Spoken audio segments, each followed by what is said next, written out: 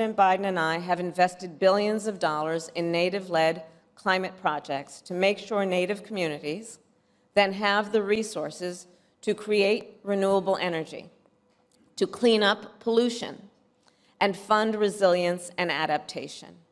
For example, at Gila River, the tribe is using the funds we provided to build a new water pipeline that will deliver clean water to thousands of people and reduce reliance on the Colorado River. So these are some of the examples of the work that we have done and have yet to do together. And I'll end then with a quick story. So I just concluded a national college tour. We named it the Fight for Our Freedoms Tour.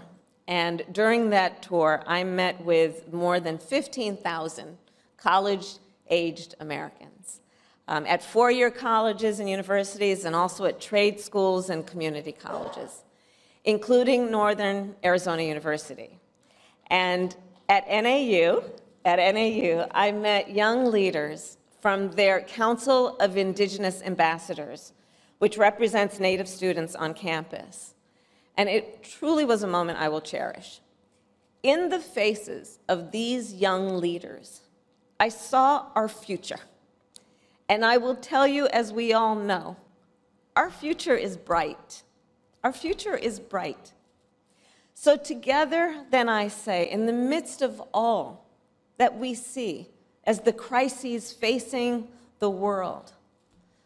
Together, let us have faith. Let us have faith in our young leaders and their future, and therefore our collective future. And let us continue then to fight for this generation and for seven generations to come.